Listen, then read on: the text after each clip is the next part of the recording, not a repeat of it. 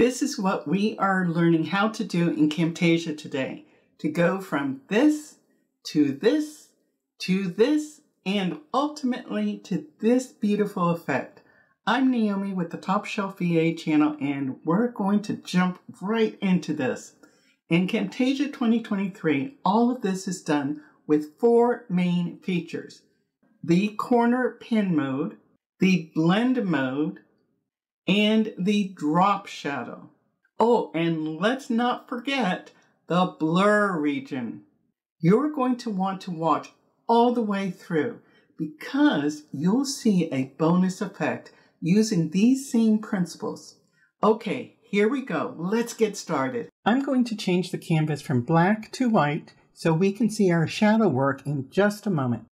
Let's drag on a text box and change the color so we can see it. I'll uncheck Auto Resize Text. Then I'll make this font bold. I'll type the word shadow in all caps. Let me click in here and select Apply Block Style. I actually want to make that larger, so I'll grab the corner of the text boundary and drag it out.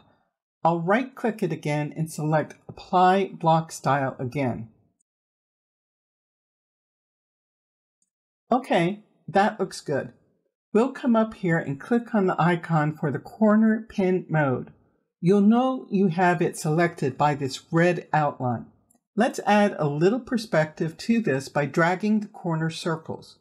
You know, I'm going to make this accurate as possible using the grids I created for Camtasia. I'll place those on the top track and lock it. By the way, you can get these for free, or if you want, a small donation, your choice from the link in the description below. Now I can snap these easily. That looks good. Now I'm going to duplicate the word shadow by making sure it is selected and using the keyboard shortcut Control plus D. The word shadow on track 1 is going to be our actual shadow. So let me change that to any gray for now. Let me lock the top text track. Our corner pin mode is still selected, so we can lay down the perspective of the shadow with the corner circles on the bounding box again. I'm also going to slide this over to the left slightly and make some other small adjustments by holding my control key down as I move these corners around. I'll click back on the edit arrow icon. Now I don't want this to be such a hard shadow for what we want to do with this. I'm going to copy the color of the shadow. Put a drop shadow on the shadow and change the color to the same color. Click on the center of the angle so there is no offset. Make the opacity 100%. Adjust the blur to 25. Then I'll go up to the callout opacity and make sure that it is down to 60% for now. Now I will drag the blur region onto the shadow text and adjust it so its bounding box is outside the bounding box of the text. Let's put the blur to about 155, the tint to black. Okay, that looks pretty decent. Let's make a couple minor adjustments to the location of the shadow. Okay, I'm going to remove my grid track now since I don't need it anymore. I'll also click back on the edit arrow. Now I'll group these two together. When that happens, the text and shadow change slightly, and I want to keep the same proportions and perspective, so I will right click on the group and select Resize Group to Canvas Size. Let me rename this group to Word and Shadow. I have a video here that I got from Pexels.com of a gentle kayak ride down a stream. I'll add this to the timeline at playhead and move it to track 1. I'll extend the group the full length of the video clip. And I'll scrub this a little to see where the boat glides in the video and move the word over a little. I'll also adjust the Y rotation a little bit. Okay, that looks decent. I'll go into the word and shadow group now by clicking on the plus sign or double-clicking on the group. I don't want the word shadow to be so opaque, so I will bring the opacity down to 90%. This will make it solid enough to still believably produce a shadow. Obviously, a shadow always picks up from the color family it is lying on, so we want to change this. I'll use the color picker to pick up color from the water for the shadow text. I'll copy that color and change the drop shadow to that color. The same goes for the blur region. I don't want the word shadow to be so opaque, so I will bring the opacity down to 90%. With that change, I think I will bring the opacity of the shadow down to 60%. I think I want to lay the perspective of the shadow down just a little bit more. I'll click on the corner pin mode and make the slight adjustments.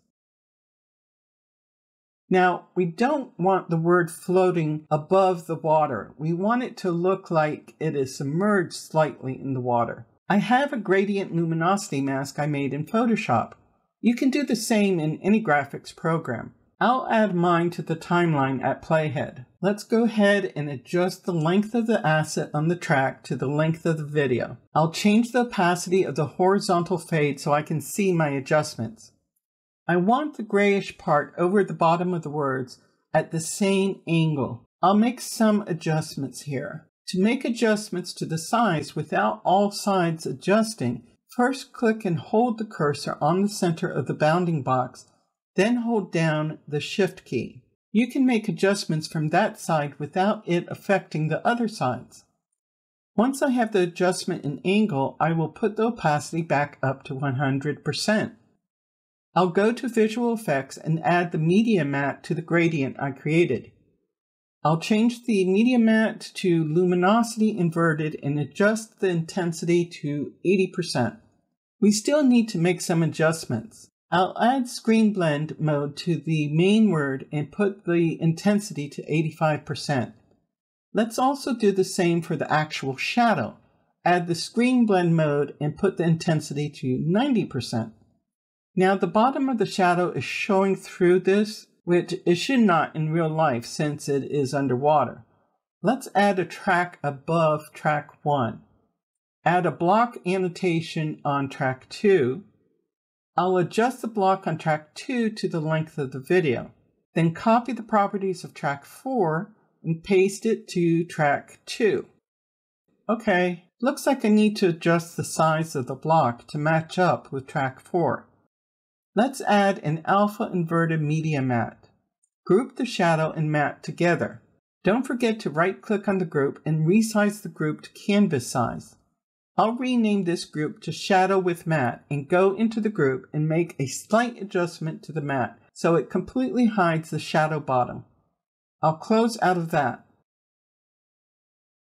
Let's right click and remove all empty tracks. Okay, we see the shadow goes up onto the shoreline and into the trees. That really doesn't look great, especially since we have set the shadow to the color of the water. Let's go back into our shadow with matte group. We'll group tracks 1 and 2 together. Let's call this group shadow. We're now going to add to the timeline another block to use as a matte for the shoreline. We'll adjust the size of the block to follow the shoreline and add an alpha inverted media matte. We need to add animation to this so the block stays set to the shoreline. Move the cursor to the end and click on Shift plus A to add a customized animation. Extend the front of the animation to the beginning of the annotation. Now slowly move the playhead forward and stop at each location where the matte block starts moving away from the shoreline.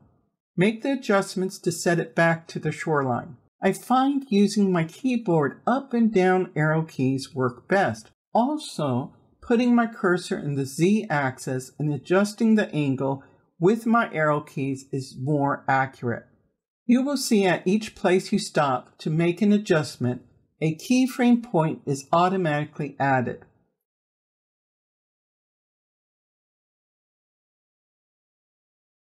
Now there is one last illusion we want to give, which is the water gently lapping around the word shadow. We could do the full word and the shadow, but I want to give the illusion the word itself has some weight to it, so it is a little more stable. Nothing major, but something to help with the feeling of the word floating along with the boats. Let's go into the first grouping, word and shadow. Same thing on the horizontal fade luminosity matte asset for adding the animation. Put the playhead close to the end. Shift A to add the customized animation. Bring the front of the animation to the beginning of the asset. Now we'll move the playhead forward and watch the waves. Where the wave is lighter is where it is lifting up higher, and where it is darker, it is moving down the ripple of water.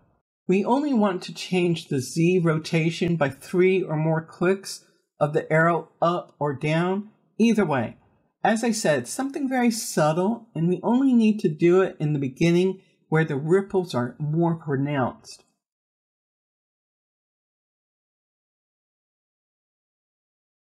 Now we want to add these animations to the bottom shadow matte so it matches the word. Holding the control key down, click on each animation. Then on your keyboard, control plus C to copy. Go into the shadow with matte group then the shadow group. Move the cursor to the end. Click on the matte on track 2 and Control plus V to add the animations. Close out of all the tabs. There's one more animation I want to do to sell this even more, a very subtle animation. On the main group, Word and Shadow, I'll Shift plus A to add a long animation. I want this to start where I stopped the wave gradient luminosity matte. Let me open that group and I see that at 14 seconds and 13 frames is where I stopped most of the animation. I'll go back to the main timeline and move the animation beginning there. Then go back to the end of the animation. As I said, I want this very subtle. Just give a minor illusion that the water has pushed the word around slightly and the boat is starting to go past it. I'll go to the rotation Y axis and change it using my arrow down key to minus 36. I'll go to the position X axis and using my arrow key, move it to the right, let's say to 472. Because this animation is 34 seconds long, it will be a slow and subtle movement like the water. Move the end of the animation completely to the end. We did it! Let's go ahead and take a look again just to make sure we didn't miss anything. As we go down this river, you are about to see that bonus effect I mentioned at the beginning. I hope this corner pinning and shadow effect has your creative juices flowing. Imagine using this in a marketing ad for an outdoor recreation company, or using the corner pinning and shadow effect for signage that is partially away from a building or on a rooftop for that matter. If you want to practice this, the link for the Pexel video is below, and for Top Shelf Video Asset members, you'll find the gradient mattes on your members page. If you want to continue learning how to use Camtasia from beginner to advanced, then make sure to subscribe to this channel and hit that notifications bell. Now, make sure to watch one of these videos next. As always, until we meet again, have a wonderful day.